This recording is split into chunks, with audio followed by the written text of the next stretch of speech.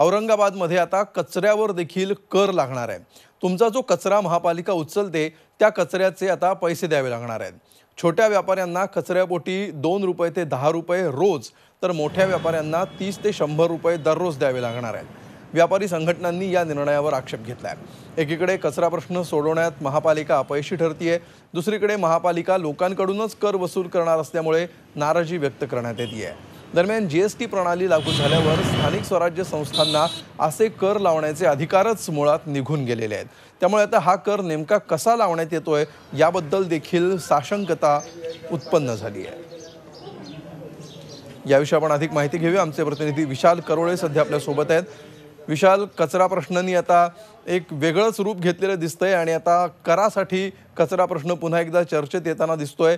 काय नेमका हा घाट घातलेला आहे आणि काय यावर औरंगाबादकरांच्या प्रतिक्रिया आहेत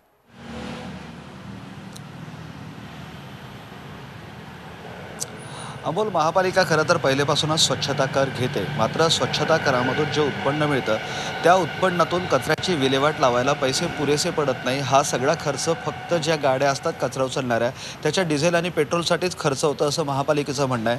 त्यामुळे शहराला कायमचं मुक्त करायचं असेल तर महापालिकेला एक प कचरा डिस्ट्रॉय करायसाठी एक सोर्स निर्माण करावा लागेल एक प्रभावी माध्यम उत्पन्नाचं निर्माण करावं लागेल. मात्र मालमत्ता करातूनही महापालिकेला म्हणावं तसं उत्पन्न होत नाही. म्हणून आता हा उपभोक्ता कर लावण्याचा निर्णय महापालिकेने घेतला आहे खरं तर महापालिकेनं या कराबाबतची माहिती ही नागरिकांना न देता औरंगाबाद खंडपीठात कचऱ्याबाबत जी याचिका सुरू आहे. त्यावेळेस खंडपीठामध्ये त्यांनी हे सादर केलेली आहे. यासाठी जे कुटुंबीय आहे म्हणजे प्रत्येक घरापोटी एक रुपया असा कर लावण्यात येणार आहे. तर जे छोटे व्यापारी आहेत त्यांना दहा रुपयापासून तर तीस रुपये तर मोठ्या व्यापाऱ्यांना तीस रुपयापासून तर शंभर रुपयापर्यंतचा कर लावण्यात येणार आहे. या करातून महानगरपालिकेला महिन्याचे दहा कोटी जमा होतील अशी आशा आहे.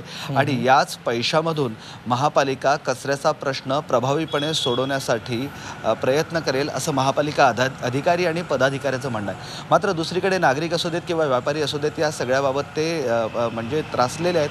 त्यांचं म्हणणं आहे की महापालिकेनं अजूनपर्यंत गेल्या चार महिन्यापासून कचरा प्रश्न सोडवला नाही. नागरिकांनी सहकार्य केलं तरी महापालिका हा कचरा प्रश्न सोडवू शकले नाही. आणि त्यावर आता नागरिकांवरच कर लावण्याचा प्रयत्न महापालिका करते. म्हणजे स्वतःचं अपयश लपवण्यासाठी महापालिका अशा प्रकारे आता कराच्या माध्यमातून नागरिकांवर दबाव टाकत असल्याचं नागरिकांचं म्हणणं आहे. यासाठी व्यापारी संघटना आक्रमक आहे. अशा पद्धतीचा कर भरणार नाही असंही त्यांनी सांगितलं आहे त्यामुळं आता महापालिका प्रशासन पदाधिकारी या सगळ्याबाबत काय निर्णय घेतात ते पाहणं महत्त्वाचं ठरणार आहे.